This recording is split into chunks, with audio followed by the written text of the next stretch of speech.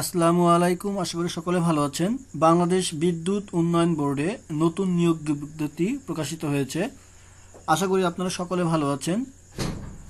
এই ভিডিওটির মাধ্যমে বাংলাদেশ বিদ্যুৎ উন্নয়ন বোর্ডের যে সার্কুলারটি প্রকাশিত হয়েছে সেটা নিয়ে আলোচনা করব এবং কীভাবে আপনারা অনলাইনে আবেদন করবেন বা আবেদনের প্রক্রিয়াটি আপনার সাথে আলোচনা করব।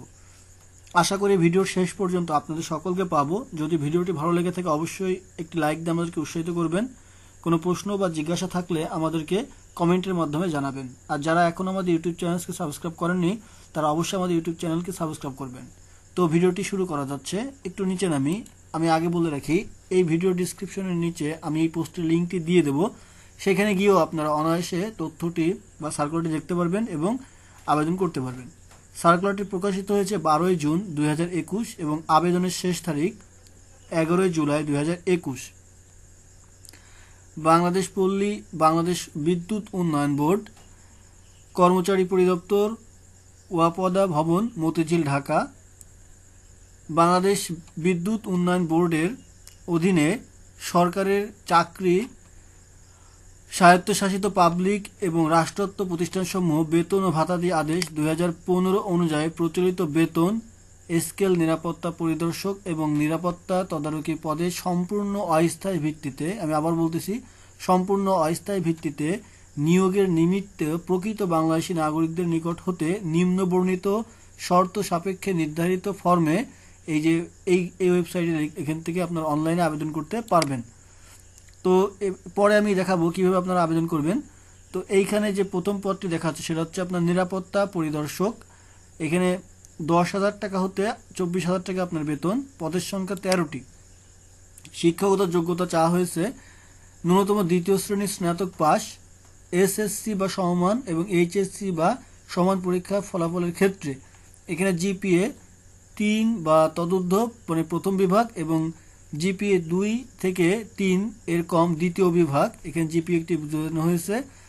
অনুমোদিত বিশ্ববিদ্যালয় কর্তৃক প্রদত্ত সিজিপি এর ক্ষেত্রে চার পয়েন্ট পাঁচ পয়েন্ট স্কেলে তিন এবং তিন পয়েন্ট সাত পাঁচ প্রথম বিভাগ এবং দুই পয়েন্ট দুই পাঁচ, দুই দশমিক দুই পাঁচ বা তদুর্ধ তিন এর কম এবং দুই দশমিক আট এক তিন বা তদুর্ধ তিন দশমিক সাত পাঁচের কম দ্বিতীয় বিভাগ।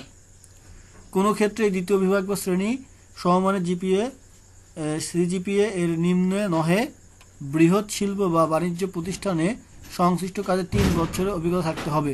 এটা হচ্ছে প্রথম পদটি, নিরাপত্তা পরিদর্শক। দ্বিতীয় যে পদটি, নিরাপত্তা তদারকি, এখানে নয় হাজার সাতশো থেকে তেইশ হাজার চারশো নব্বই টাকা। এখানে ষোলোটি পদ এবং এসএসসি বা সমান পরীক্ষায় সমান পাস। এসএসসি বা সমান পরীক্ষার ক্ষেত্রে এখানে সিজিএফে প্রথম বিভাগ হচ্ছে তিন দশমিক এবং দ্বিতীয় বিভাগ হচ্ছে দুই দশমিক থেকে তিন দশমিকের কম।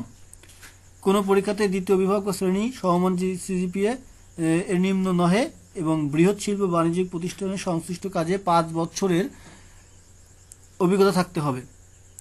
এরপরে আছে শর্তাবলীগুলো, যে আপনারা কি কি শর্তাবলী অবলম্বন করে এই সার্কুলারটা আবেদন করতে পারবেন। এখানে অনেকগুলো শর্তাবলীগুলো আছে।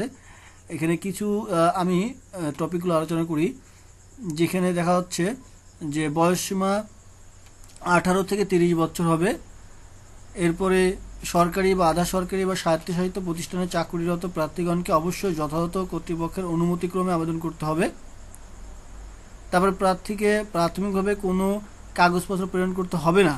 লিখিত পরীক্ষার সময় নিকট থেকে আবেদনের উল্লেখিত তথ্যাদি সমর্থনে প্রয়োজনীয় কাগজপত্র দিয়ে আহ্বান করা হবে।